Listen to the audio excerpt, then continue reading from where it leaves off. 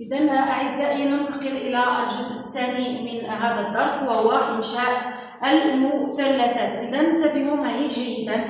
هنا لدينا آه، آه، آه، سنبدأ بالعنوان الأول وهو مثلث مختلف مختلف الأضلاع إذا مثلث مختلف مختلف الأضلاع لدينا حالات سنتطرق إليها وسنتعرف عليها. إذا بالنسبة لرسم مثلث قياس أطوال أضلاعه غير معلومة إذا سأرسم مثلث دون أن يكون لدي شرط معين في رسمه يعني أضلاعه غير معروفة إذا هذا شكل هذا مثلث أضلاعه غير معلومة. إذا بالنسبة للمثال الثاني رسم مثلث قياس طول أحد أضلاعه أربعة سنتيمتر. إذا لاحظوا جيدا أعزائي سأرسم أولا الضلع وأقوم الضلع الأول الذي هو أربعة سنتيمتر. إذا آه،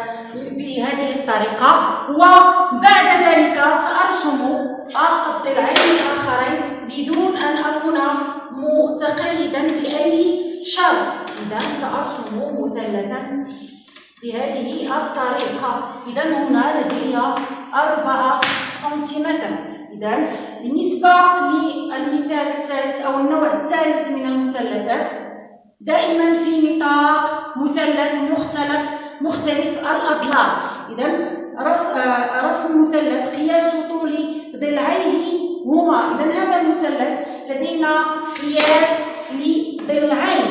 إذا سأقوم سأحاول رسم الضلع الأول وهو خمسون خمسة عفوا خمسة سنتيمتر.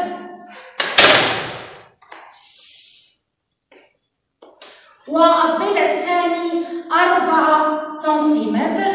إذا هنا لاحظوا جيدا كيف طريقة مسك المسطرة أو المزواز إذا لدي هنا ضلع قياس طوله خمسة سنتيمتر وهنا ضلع قياس طوله أربعة سنتيمتر وسأقوم بإتمام رسم المثلث برسم الضلع الثالث. الغير معروف. إذا أعزائي أنتقل بكم إلى الحالة الرابعة وهي رسم مثلث قياس أطوال أضلاعه هي 3 سنتيمتر 4 سنتيمتر و 5 سنتيمتر. إذا سأرسم خمسة سنتيمتر بواسطة المسطرة أو المسواس ولكن بعد ذلك سأرسم الضلع الذي يساوي 4 سنتيمتر و3 سنتيمتر هنا لابد من استعمال البركان لاحظوا جيدا أنني سأخذ المزوات وسأقوم ب بفتح البركار. أولا أضع شوكة البركار على الصفر ثم أفتح البركار إلى أن أصل إلى ثلاثة سنتيمتر على المسطرة بهذه الطريقة. لاحظوا جيدا. بعد ذلك سأثبت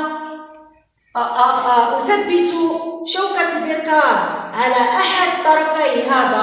هذه القطعة أو الضلع وأرسم هذا القياس يعني قياس فتحة البركار بهذه الطريقة. عفوا.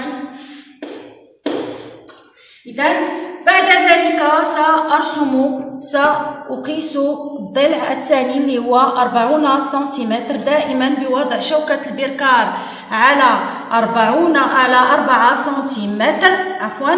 ثم أضع شوكة البركار في الطرف الآخر من الضلع الأول ثم أرسم تقاطع القوسين.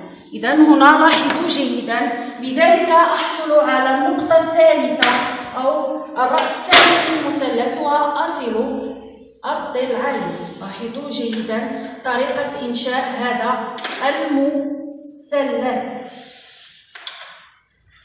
إذا أعزائي لدينا هنا أربعة أربعة آه، آه، حالات بالنسبة ل مختلف الأضلاع أعود معكم إلى هذه الحالة وسأكتب لكم القياسات.